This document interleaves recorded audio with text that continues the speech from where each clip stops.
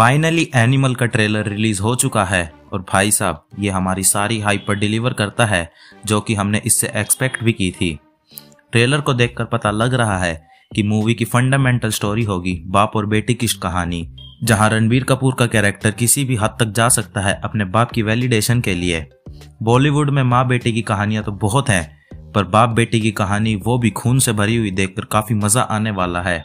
जो लोग संदीप रेड्डी वांगा सर को जानते हैं, उन्हें पता होगा कि वो अपनी मूवीज़ में रियल और रॉ इमोशंस दिखाना पसंद करते हैं। और यहाँ ट्रेलर में भी हमें इसकी काफ़ी झलकियाँ देखने को मिली हैं।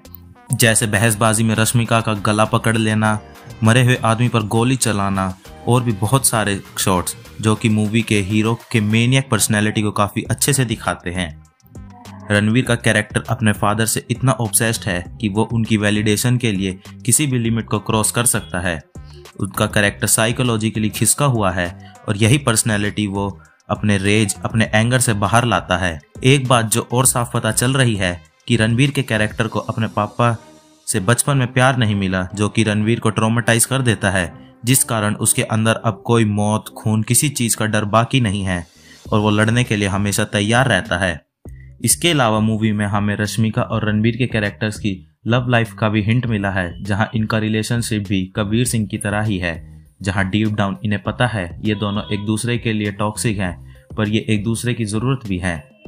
ट्रेलर रिलीज़ होने से पहले सबको ये उम्मीद थी कि ट्रेलर एक्शन वॉयलेंस हैवी होगा, पर वांगा सर ने बिल्कुल इसके अपोजिट ट्रेलर को इमोशन से पैक किया है, और उन्होंने ये बता दिया है कि उनकी मूवी में ज़बरदस्ती का सिर्फ़ एक्शन या नहीं, बल्कि एक ग्रिपिंग स्टोरी भी होगी।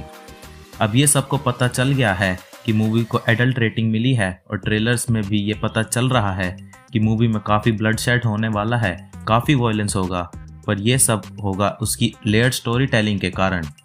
बात करें main villain lord Bobby Deol की तो फिर एक बार हमें उनके कैरेक्टर के बारे में कुछ नहीं बताया गया। लेकिन बॉबी की स्क्रीन प्रेजेंस टॉप नॉच लग रही है। टीजर में भी हाइप बॉबी को ही ज़्यादा मिली थी और यहाँ भी वो लास्ट में रनवे पर जो शॉट्स हैं उनके कैरेक्टर्स के around hype build next level पर कर देते हैं। मैं वेट नहीं कर सकता कि वांगा सर ने उन्हें क्या सुपर विलन क्रिएट किया है, जो कि रणबीर के कैरेक्टर के लिए बुरी हालात कर देगा। मार्केट में अफवाहें चल रही हैं कि बॉबी का कैरेक्टर इसमें गूँगा होने वाला है, और यहाँ भी उनका कोई डायलॉग नहीं था, जिससे ये सच साबित हो सकता है। ट्रेलर का लास्ट शॉट जिसमें बॉबी रणवीर के ऊपर लेटकर सिगरेट जलाते हैं, वो ब्यूटीफुली और क्रेजी दिखता है।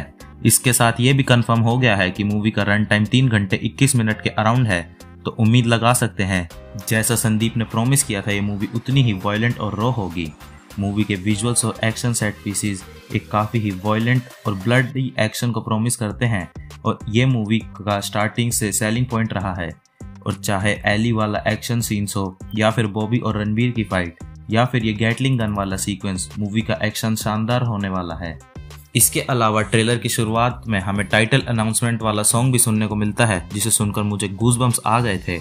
और इस म्यूज़िक को थिएटर में सुनने का एक्सपीरियंस शानदार ही होगा। वहीं हमें यहाँ पर बी प्राक की आवाज़ में भी एक गाना सुनाई दिया, जो कि मूवी के इमोशनल साइड को काफ़ी ब्यूटीफुली कॉम्प्लीमेंट करता है। वांगा सर म्यूज़िक को स्क्रीन प्ले के साथ काफ़ी अच्छे से इंटीग्रेट करना जानते हैं, जो कि उनकी मूवीज़ में हमें एक एक्स्ट्रा लेयर भी ऐड करता दिखता है। जो बात मुझे ट्रेलर की सबसे अच्छी लगी, वो थी इसने हमें कुछ ज़्यादा रिवील नहीं किया और बस एक सटल आइडिया दिया है। ट्रेलर देख कर ये तो अंदाज़ा लग रहा है कि ये एक रिवेंज ड्रिवन स्टोरी होगी, पर वो सिर्फ़ इसकी एक लेयर होगी और अभी भी हमें स्टोरी के बारे में कुछ इतना स्पेशल नहीं पता है। ट्रेलर को लेकर जो मेरी एक लौती कंप्लेंट है, वो है रश्मिका मंदाना की हिंदी। मुझे दो तीन बार सुनना पड़ा ध्यान से जब मुझे उनका डायलॉग समझ में आया, वरना बाकी का ट्रेलर शानदार था। ओवरऑल ट्रेलर मूवी को लेकर हाइप बनाता है और अब इंतज़ार है एक दिसंबर का, जब हम रणवीर के विश्व रूप को थिएटर्स में विटनेस कर पाएँगे और देखेंगे कि संदीप रेड्डी वांगा ने क्या एपिकनेस को बनाया है। Struggle with every step.